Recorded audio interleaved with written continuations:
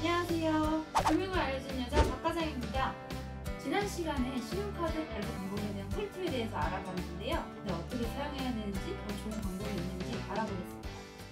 오늘 제가 준비한 주제는 바로 카드 사용 황금 비율 찾는 법입니다. 카드에 무슨 황금 비율이 있나요? 바로 신용카드와 체크카드의 황금 비율입니다. 우리 모두 금융왕으로 거듭나 봅시다. 많은 분들이 카드 사용하는 데 있어서 황금 비율이 어떤 건지 많이들 궁금해 하시는데요. 힌트를 드리자면 소득공제 때문인데요. 여기서 소득공제란 과세의 대상인 소득금액을 줄여주는 건데요. 예를 들어 내가 올해 소득공제 대상 금액이 10만 원이다 라고 하면 이 100만 원을 모두 과세하는 게 아니라 10만 원을 제외한 90만 원만 과세를 합니다. 내가 내는 세금은 줄어들겠죠. 그래서 체크, 신용카드 이 결제 비율만 정말 잘 맞춰주어도 세어나가는 돈을 정말 꽉 잡을 수 있습니다. 혜택이 많으니 신용카드를 많이 사용하는 것이 더 혜택이지 않을까라고 생각하시는 분들 많은데요. 문제는 저희 밥값, 술값, 있어야 혜택 받기가 좋은데 우리는 대부분 분산되어 있기 때문에 이 혜택을 받기가 어려운데요. 저희는 체크카드를 어떻게 적정하게 사용할 수 있을까요? 바로 체크카드와 신용카드 지출에 관한 소득 공제 한도를 파악하시면서 지출하시는 건데요.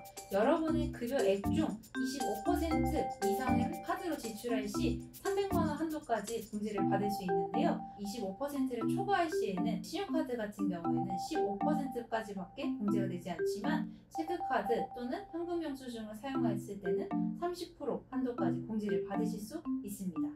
그런데 사실 내가 지금까지 얼마 썼는지 계산하기에는 너무 바쁘잖아요. 그럴 땐 연말정산 미리 보기를 활용하세요. 홈택스에서 1월부터 이번 달까지 지출 내역을 확인할 수 있, 있는데요. 이를 토대로 지출 계획을 수립하는 거죠.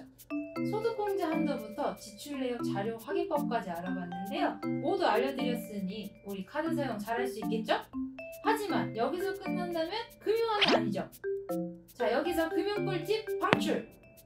카드 쓰시지만 소액 결제라든지 현금 사용하시는 분들 많이 계시는데요.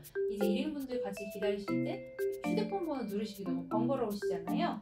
그럴 땐 일반 영수증부터 챙기세요. 현금 영수증은 직접 발행하실 수 있습니다. 홈택스에서 자진, 발급, 소비자 등록을 하시고 발행이 가능합니다. 공제받을 수 있는 내용에 대해서 알려드렸는데 마지막으로 추가 공제나 중복 공제가 가능한 항목에 대해서 알려드리겠습니다. 추가 공제 대상은 대중교통, 전통시장 이용액, 도서 및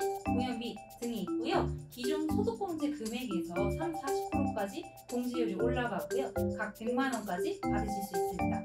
또 중복공제 대상은 의료비, 취약전 아동 학원비, 교복 구입비는 특별 세액공제 항목인데 소득공제까지 중복으로 받으실 수 있으니 부담이 덜하겠죠. 다만 신차 구입비, 통신비, 옷가금, 아파트 관리비 등은 제외되니 조심하세요. 자, 오늘도 지난 영상에 이어서 카드에 관련된 꿀팁을 가지고 왔는데요. 다음에도 더 많은 꿀팁을 가지고 오겠습니다. 혹시 여러분들 평소에 궁금하셨던 사항들 있으시면 댓글로 남겨주시면 저 박가dem이 알려드리겠습니다. 지금까지 금융을 알려주는 여자 박가dem